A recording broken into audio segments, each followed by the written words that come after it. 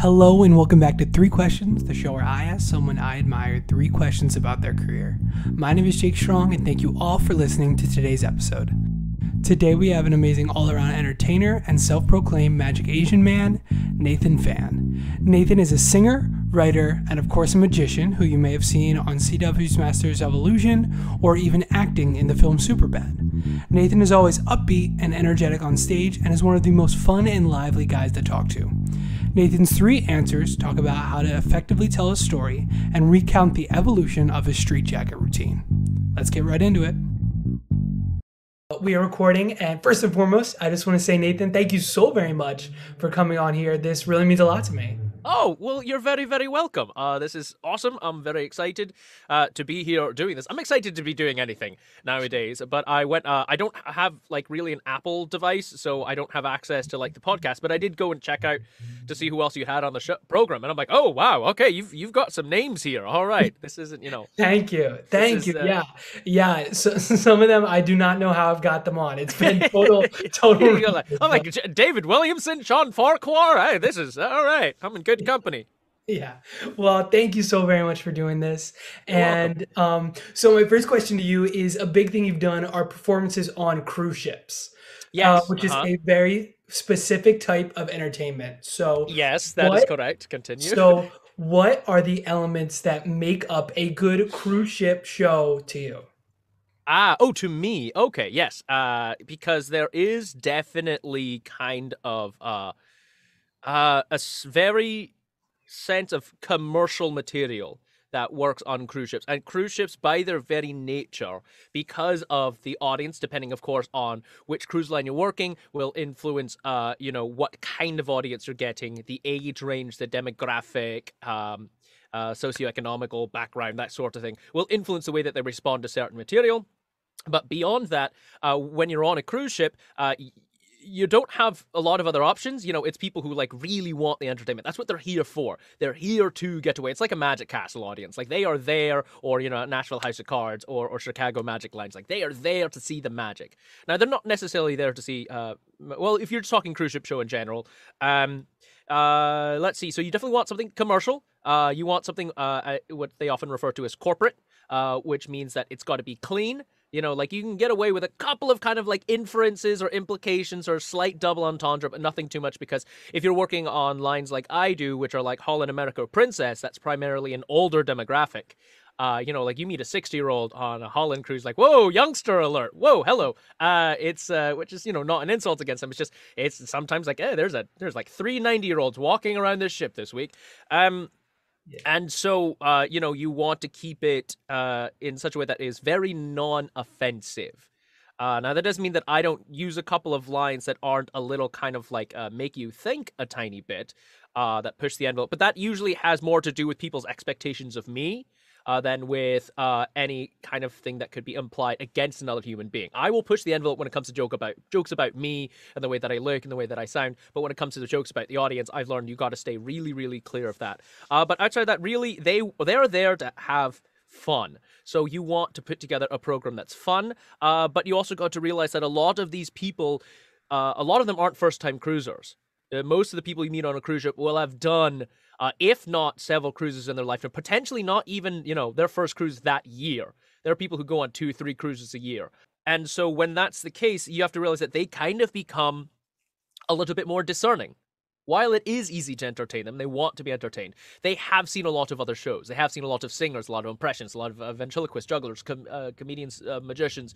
Uh, and so, if you do something straight out of someone else's book, this is really where magic ethics finds a practical use. Because we all talk about the ethics of magic, but you know, for the most part, like when are you ever going to run into somebody else who has seen Banana Bandana already?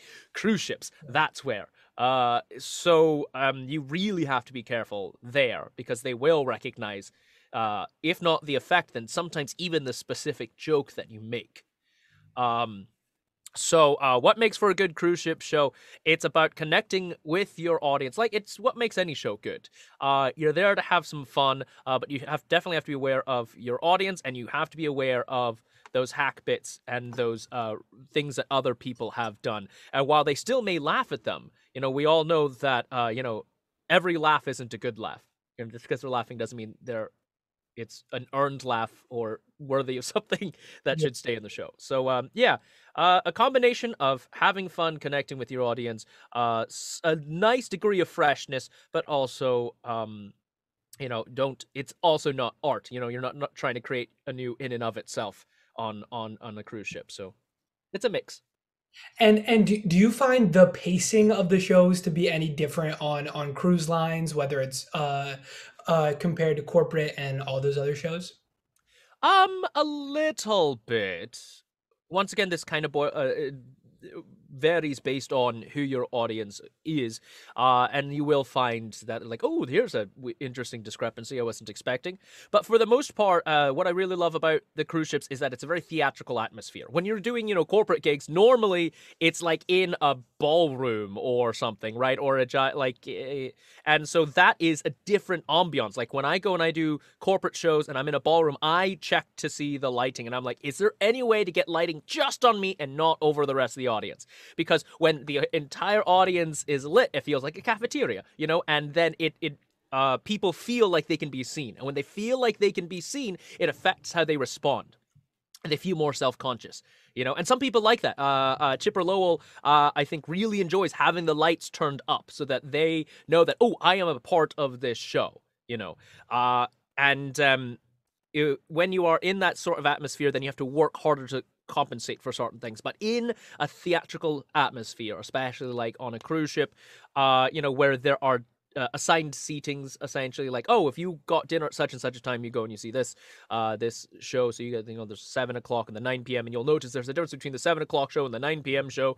Uh but uh the, it is nice because they're in a theater. You've got really nice sound system you've got really good lighting high production value they've paid to be here so they want their money's worth so there is a lot of your work is being done for you already in that regard um so uh, sometimes it is a lot easier. Sometimes I can really slow down some of the delivery. Uh, I do this one routine that if I'm not on a cruise ship, it's already kind of a long routine. It's probably about nine ten minutes.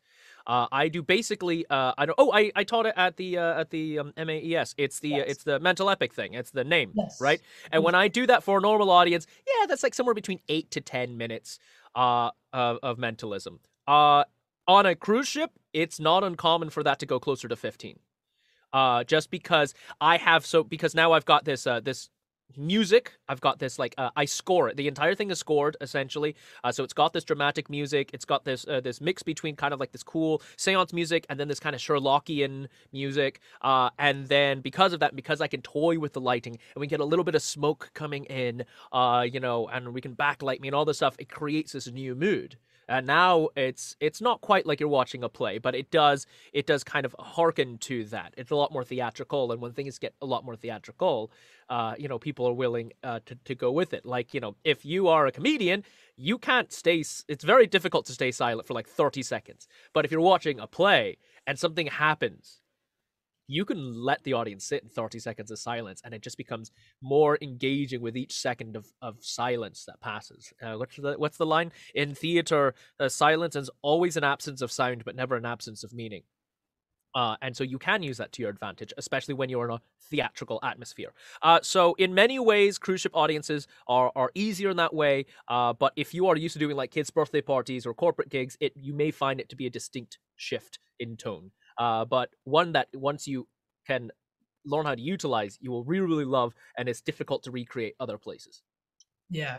And and something else also is your arsenal is that you're a singer and, Yes. and you kind of incorporate it in your act, whether it's in your audition for America's Got Talent or just singing outside of magic. So I'm kind of curious, where do you see the crossover in the performance whenever you're singing and whenever you're doing magic?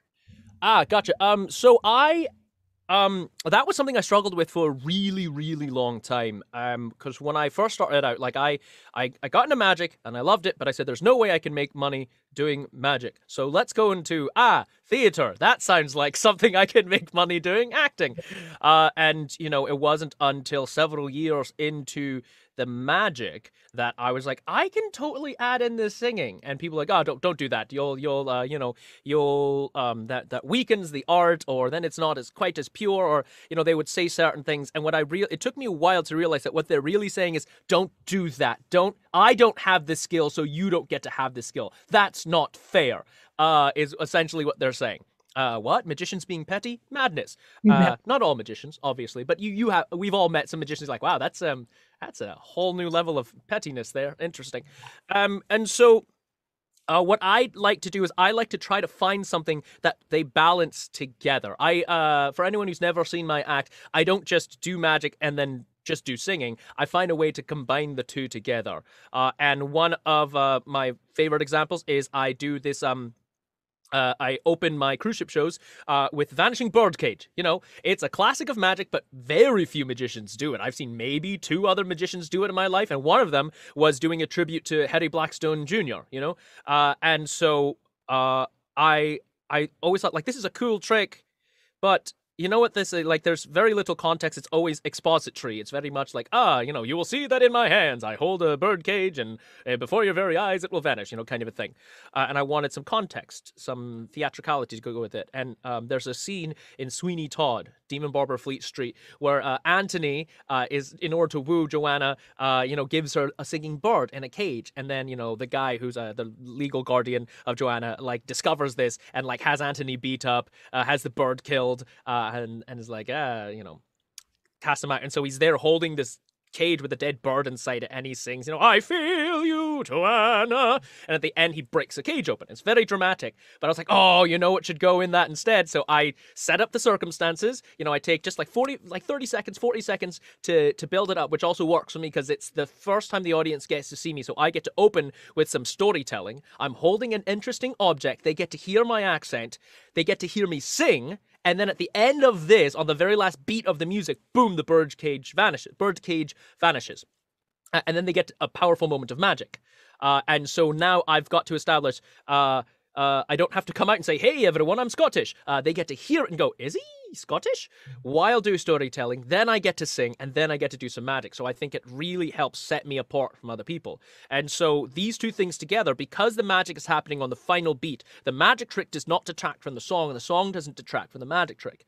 Uh, one of the other things I do, I sing opera while escaping out of a straitjacket. Uh, and that is those two things. I pick a very a relatively well known song, Nessun Dorma, because people hear it and they're like, "Oh, cool! I know this song, and I don't need to listen to it super hard because uh, I'm aware of this song, but also I can appreciate how well he's singing it." Also, at the same time, the difficulty and the amount of uh, breath control uh, uh, required to sing opera is in stark contrast with the physicality of having to escape from a straitjacket. So the two things complement each other really well because straitjackets are very linear. It goes, you are inside and then you get out. Uh, you know, you don't need to pay super tight, close attention. And at this point, enough I think people have seen straitjackets know he can get out of the straitjacket. He wouldn't present himself with this challenge if he didn't know he could get out of it right? And because it's not quite as life threatening as, let's say, like a water torture escape, you know, there are times when a lot of audiences are just like, ah, straight jacket, seen it, so what, who cares? But now when you add in, oh, he's also singing live, he's singing a difficult style of music and he's singing it well while doing this intrinsically physical thing you know it has the two have to complement each other without detracting uh, uh, i'm still trying to find uh, i've been doing this card manip routine for a while uh, and i still think there's a potentially a better music choice for it uh, but right now it's it's fine is because card manip is not linear there are you know single productions whole handful perfect productions you can do all these different things and they want to focus on that but if the music pulls away focus from that, then it's it's no good. Like I used to try to do opera while doing card manip because I was like, oh, card manip is hard, opera is hard. Let's put the two together. But they couldn't focus on on one thing or the other because it was too much going on at once. Uh, so for me, the the my philosophy when it comes to magic, uh, magic and singing is you have to find things that complement each other. The music can't pull too much away from the magic, and the magic can't pull too much away from the music. So sometimes that means picking music that isn't quite as difficult. That's just kind of light and pretty. Uh, Ed Alonzo does a floating rose while singing "Proud of Your Boy." You know, because that's a nice, pretty song. But it's because the rose is just kind of hovering and floating and isn't zipping around the room, then, you know, it's easy to have this be a focal point and have this pretty uh, light music that, even though most people aren't familiar with it, and not have it detract too much uh, one from the other. Yeah, and and I I love I I have to tell you one of the the first season that my fa- that my family sat down to watch of America's Got Talent. It was one of the Ah. first episodes. I saw you on it. That that is a memory of mine when you Oh, got wow. straight jacket with the with, with the With the American flag. Yep. flag, hmm and the, and and then they made you do the the other trick, and then your friend threw you the deck of cards. Yep. Yep. That, that is Yeah. implanted in my memory. So Oh wow. Yeah. Yeah. That.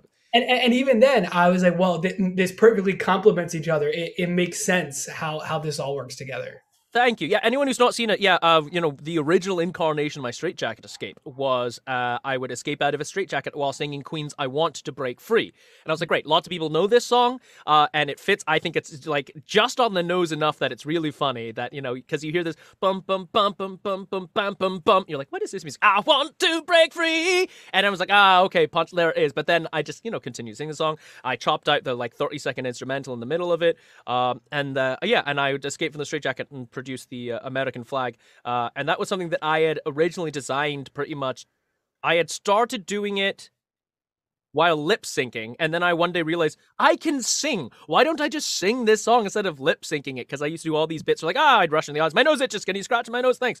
Uh, all this stuff. You know, I kind of like not quite lap dance, but I would like kind of like wiggle in front of someone.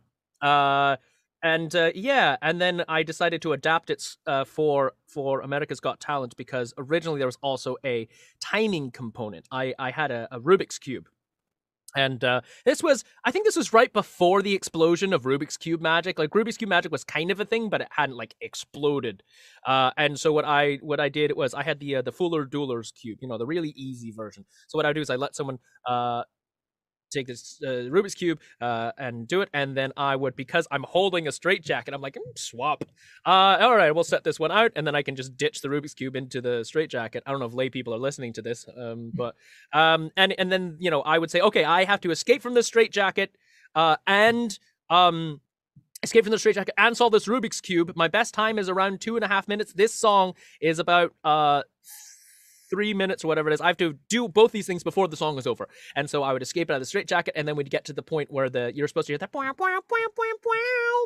Uh, and I would hear that that part got skipped over. Like, oh no, you don't have the instrumental. Oh no, I'm out of time. And then you know, for so now, so it starts like kind of being like fun and like, isn't this kind of like vaudevillian? I'm singing and escaping from a straight jacket, and then realize, oh, panic time, panic time. And then at the end, I'm taking it, and I realize I have to cheat. And it's like, ah, I want to break, toss, catch, free, and it's solved. Um, yeah and that that routine served me really well and what works out great is that you have this escalation you know? It's not just a it's a straight jacket escape but it's got a another layer to it whereas like i have to do something else. There is a time limit there is a time crunch to it uh which which naturally makes things more exciting. Um there was a, a quote um by by alfred hitchcock which i'm going to very roughly paraphrase but basically you know you can have a the i can't do a, a a, a, a impression of Hitchcock I think he used to talk like this or something.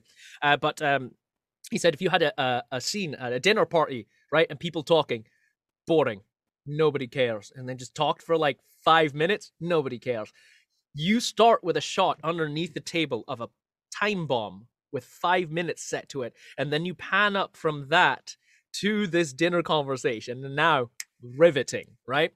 Uh, and so uh, you know you can do that same thing with certain things in magic. You know, you you give it a time limit, you give it some sort of restraint. That's why people find the need to add things like, oh, i'm going to dangle upside down while escaping from the straight jacket, and this cord is on fire, or uh, you know, uh, the natural time limit of being able to hold one's breath underwater, or all these sorts of things. Um, yeah, that was a really really fun experience, uh, and I that was a solid routine, and uh, it I remember when it quote unquote died. Not because it died on stage but because i realized that the the opera version was was much more powerful because i had only done the opera version like a couple times because i was part of a show called vaudeville illusion and everything was kind of like period and so i was like oh i can't sing like this this 80s queen song uh, and i was like i've been toying around with doing opera let's try it and that it worked fine it was really really good but then i was on tour with masters of illusion and one night we were in charenton louisiana and i did i don't know if you want to hear all these extra stories uh, but my I, adhd I brain enjoy all that. go. Okay good just checking uh, i know i'm giving you more than you asked for and i'm not sure if that's good or not because sometimes like stick to the five minutes baby and sometimes vamp vamp baby vamp uh, and so uh, we were in charenton louisiana it was my very first performance with masters of illusion live uh, so i had just done like They put me on one episode of the previous season of Masters of Illusion and then immediately asked me to come and be part of the tour. And part of me wonders, like, did they just air my one bit so that they could ask me to be on the tour? If so, that's fine with me.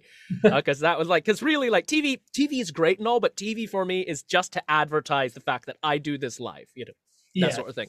Uh, and so um, we went to this casino in Charenton, Louisiana and uh, we performed in this space and i did the you know the queen version. Worked great. People loved it because it was you know a casino venue which also sometimes hosts rock bands and things like that. Worked great. The next day we were i think we were in new orleans and we were in this gorgeous it might have been a palace or uh, something like that um a theater one of these like classic like built in the 10s or 20s uh theaters. And was like oh i don't want to sing queen here. I want to do the opera version here. So i went to gay blackstone because she goes on tour with us because she's awesome. I was like, hey, gay, and she's in charge of putting the line. She's like, you know, this this theater's so gorgeous. Can we try the opera one tonight? And she's like, uh, yeah, let's give it a shot. It was early in the tour, uh, and I did it, and just the thunderous applause that I got to escaping while singing Nessun Dorma. Uh, and Gay came and saw me afterwards. She's like, yeah, you're only doing the opera version from now on. I'm like, yep, mm-hmm, I agree. That's correct. And she's like, you know, and I'm going to work with you on this because I think we can get you a standing ovation basically every time uh, mm-hmm. from this routine. I'm like, mm, yes, uh, yeah, Gay, you want to help me with the routine? Uh, yes, by all means, please. Yes. Cool. Uh, so yeah, it's a, it's a, and it's interesting sometimes how those routines evolve. And it, however, it never hurts to have that alternate version of a trick in your back pocket just in case something happens. Yes. Yeah, and, and something you're you're so great at is is uh, being so good at storytelling throughout your, your shows. Like you said in the beginning, when, when you introduce you're a magician, you sing and you do all that stuff at once, and you also do also write your own screenplays and and you mm-hmm. do a lot of writing. So so my question to you is kind of what are the keys to overall effective storytelling as a whole? Ooh, that is a very good question. I mean, uh, obviously, uh, beginning, middle, and end. That absolutely helps. Um, there are a lot of. Uh, I think the reason why I I have gotten good at them are are several different reasons, and we'll try to tie this into the, the things that make good storytelling. But the reasons why I'm so much into storytelling is, uh, first of all, I went to, I've always liked kind of telling stories. I think it originally came from me, like being in the Boy Scouts, being sat around the campfire. And that's one of the things you got. It's like you tell jokes or you tell stories, you know? Uh, and then me with my ADHD brain, I love improv, uh, and so I like being able to take suggestions and then incorporating them in uh, into these stories, folding them in. Uh, and so that all led to me going to an art school. Uh, I went to the Orange County School of the Arts, uh, which is this wonderful middle and high school in Santa Ana, California, that is during the day from like 8.30 to 2 is a normal school and it's a highly accredited great grades. But in order to get in you also have to audition and you have to get accepted into one of the conservatories.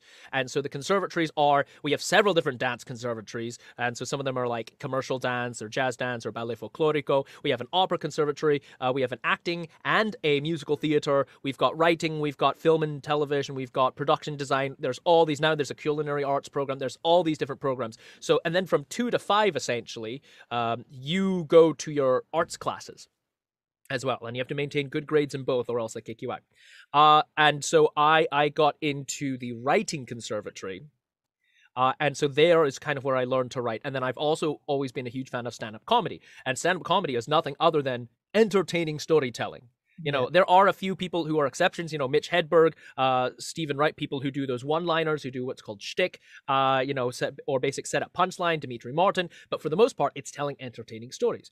Uh, and so I've always loved these entertaining stories. So through watching a lot of stand-up comedy, I think I kind of got used to hearing a story and and I always like one of the things when I do when I just absorb pop culture and watch movies is I'm always learning from them. It's like, oh, what about this works? where do I think this is going? Where did this actually go? Where would it have went had I written this? Uh, and I'm always trying to like, and I always keep you know my my a mobile device or notebook nearby so I can jot down notes uh, if if I have them. Uh, but you know, you want it to have a beginning, middle, and end. You want to also have a frame of reference for the audience. There has to be something for them to relate to. Obviously, you know, uh, if you, you know, if you write about growing up in your little small midwestern town, that is not necessarily accessible to everyone as is growing up in la you know like oh if you you know like oh and every day robert de niro would come over and babysit like that's uh, that's kind of uh interesting uh like it can be accessible but it also sounds very very elitist, you know, depending on how you present it. So it's also it's making things relatable. Why you have to give them a reason why they should care about this, uh, and also uh, you you have to be empathetic too to your to your listener. You always have to show that you're taking them into consideration. You know, uh, which is it's the same reason why you try not to insult your audience. Now, obviously, that can be done, and it can be done well. You know, Don Rickles obviously does it well, or or even a Brett Loudermilk. You know, it plays. You know, oftentimes it's very exa- or or Piff the Magic Dragon plays this exasperated kind of like. I made the wrong choice, didn't I? You know, kind of a thing, and gets the whole audience to laugh. But you know, when it gets built into a character or a way of presentation, you can tell that it's intentional. The other thing, intention. You have to make sure that the things that you're doing and saying uh, must seem very intentional. Uh, so those are a few kind of beginning aspects, uh, beginning, middle, and end. Uh, context or relatability and uh, intention and caring about your audience. Uh, and if you, there's a reason for the story too, that helps as well you know uh, that was one of the I, I so i admittedly have not seen in and of itself yet. Uh, i have uh, I'm, I'm it's definitely on my list of things to see. Uh, i was slightly put off of it because a friend of mine went and saw it uh, once again a theater person uh, also a magician went and saw it and he came back to me and said like yeah it's just the story the storytelling moments were weird. Like they didn't seem super connected and it made all the stories seem like they were about him. Uh, which like kind of makes sense, but also can be done in a way that turns you off to it. Uh, and so uh, I I am I'm like making sure that I'm going into this once kind of like all the heat is off and I can just kind of like appreciate it without having a lot kind of built up for it for me. Mm-hmm. Uh, so yeah, you you have to make sure that the audience you know cares and that there's a reason for the storytelling and that the reason is a good reason, not just self-aggrandizing. Because it's very easy to go to tell a story that ultimately just all points towards like a humble brag or is just a weird flex in some way. Uh, so uh, yeah, just make sure that the audience will enjoy the story. You know, where there's a good reason for the story because sometimes it's an emotional story yeah. And I think that so many magicians forget that when they're in a magic show, they're they're telling a story to the audience all the time. And yeah. whether they're not explicitly telling a story, they are at all times to the audience. Yeah, yeah. Like this is one of the reasons why intention. Things have to be extremely uh has to be filled with intent uh for their audience and you have to keep the audience perspective, the audience experience is is uh paramount that takes precedence over just about everything else. Uh, you know, you're now uh, one thing that can come very, very close is your own experience to a degree. Because if you are having a good time, then the then I think for the most part the audience will have a good time. So you have to make sure that the material picking you enjoy as well. However, it has to be still has to be stuff that is appealing to the audience. You know, you can't do this knuckle busting card trick that is boring solely because it makes you happy that you're using these difficult moves.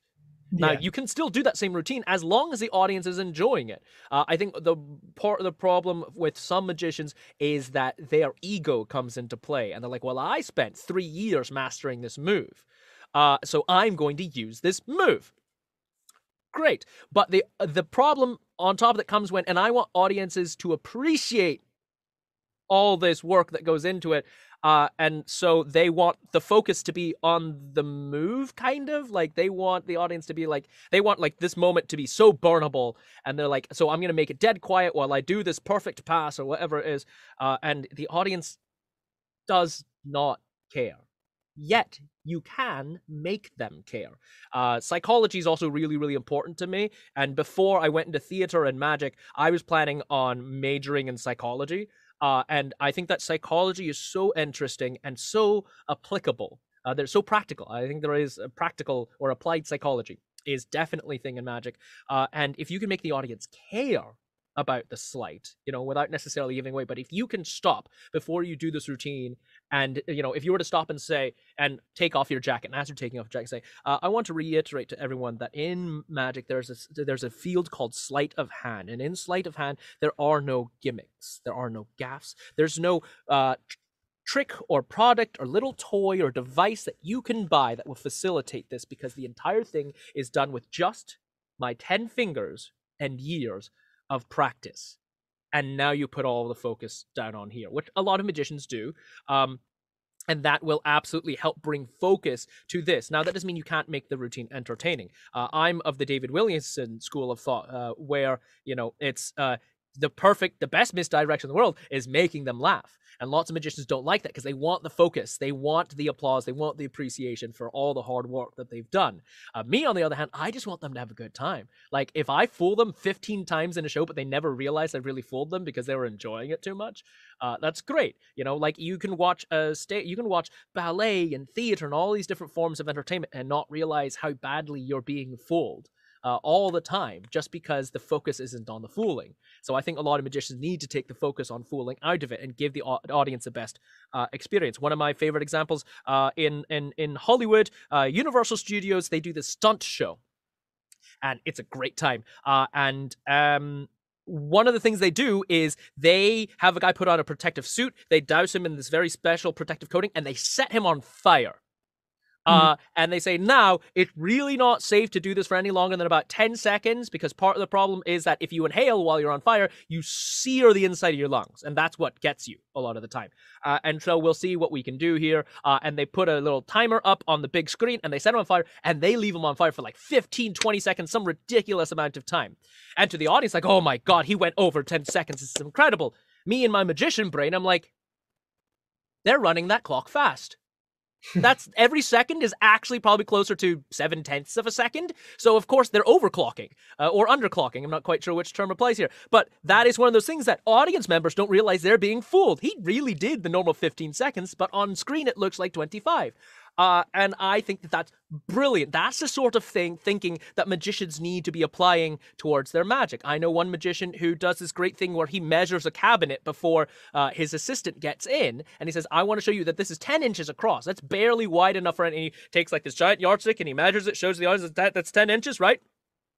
And it's not until it wasn't until like I went to go see him and hang out backstage. I looked at the ruler. I'm like, you son of a oh my god and each inch is closer to like an inch and a half. So on the ruler yeah it's gonna look like 10 inches but guess what? It's not. It's more than that. Uh, and that's the kind of stuff that magicians need to think about fooling audiences in ways that isn't going to get an applause. We're used to after every single move getting the applause, oh, amazing. But in, as opposed to doing it like, oh, do that exact same move undercover. I think uh, it's uh, not the master move, whatever it is, but as the card's going down onto the table or those sorts of things. Uh, you don't always need the applause. You don't always need the approval. I know it's tough because we're used to practicing in secret and not getting applause, uh, and so we want the applause where we can get it. But it's cheapening the art. It's making the art form worse in many ways not always uh, when you do that. And so i i would hasten to say uh, go and study theater and look at the way that that affects the audience and where the audience gets to show their applause. Because you know you don't get an applause break after you do a really difficult dance move necessarily uh, or after you hit a really impressive note. There has to be a break in the music where that can happen uh, you know and every once in a while if something is powerful enough they will interrupt you with applause uh, but you know you have to you have to know when and where that is and how that's going to affect uh, everything that you do. Uh, yeah. Yeah. Well, the, these are all amazing insights. You, they, everything comes so rapid from you. So, so I'm gonna have to listen to this back so many times to, to, to fully digest everything. Yeah, but but the, these are all awesome points. And before we go, do you have anything to plug uh, for anybody that might be listening? Oh yeah, sure. Um, uh, Masters of Illusion should be returning to the CW network uh, this summer. Uh, we haven't filmed it yet, but uh, we're all getting emails saying, when are you available? Yada, yada, yada. So, as far as I know, filming is happening. Uh, Masters of Illusion is going to be doing, uh, you know, social distance, COVID friendly approved. Um, filming uh it, hopefully later in march i don't know if i'm allowed to say when it films uh but uh, so that should be coming uh to back to the cw for i think our seventh or eighth consecutive season and then also uh, every month I do a uh, I do an online show, and I'm hoping to keep this up even once the world gets back up and moving because uh, because things are online. Uh, it's easy to me for me to do this from remote locations. Uh, and so I do a show for Saturday of each month. Uh, that is the music and magic of Naathan Phan. Basically, it is two shows for the price of one. I do a 45 minute concert, uh, and then I do a 45 minute magic show. Uh, and so that will be the first Saturday of every month. Uh, check that out. Uh, you can go to my website if you want to learn about what I'm up to. My website, magicasianman.com, uh, as well as Magic Asian Man's also my Instagram and TikTok and all those other things. And uh, if you ever, you know, and that is a ticketed show, but if you want to just kind of have some fun without paying an admission fee, I also do, excuse me, I also do a, uh, a weekly open mic night by the way, Jake, if you ever want to come and join, let me know. Uh, weekly open mic night. That's uh, every Monday right now uh, at 7 p.m. Pacific. And we usually go for less than an hour. So people just join me remotely and they work on stuff. That's it. So whether it's some poetry or stand up comedy or magic or singing or whatever it is. Uh, and then I also do online karaoke every Wednesday uh, in the evening as well. Uh, so we're I'm thinking about changing the time slightly, but just uh, but that'll be on like Facebook Live and YouTube and stuff.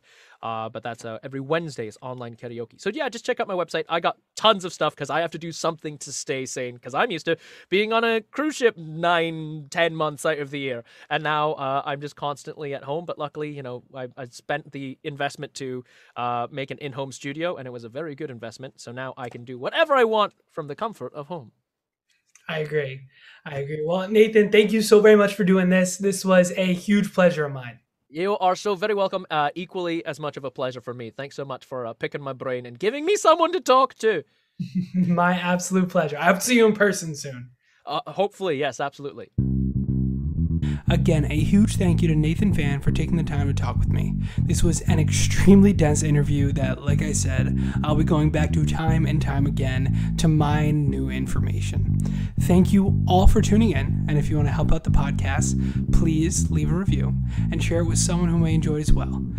If you have any questions or want to make a donation to help the podcast, email jake at jakestrongmagic.com. Like I always say, this is currently a very small project that I've been working on, but I would love to see it grow and reach as many people as possible. It's crazy to see the statistics every single week go up and up and see that we're reaching 15 different countries and 39 different states right here in the United States, and I'm super excited to keep on sharing these episodes with you. Thanks again, everyone. Stay safe, and I'll see you next week.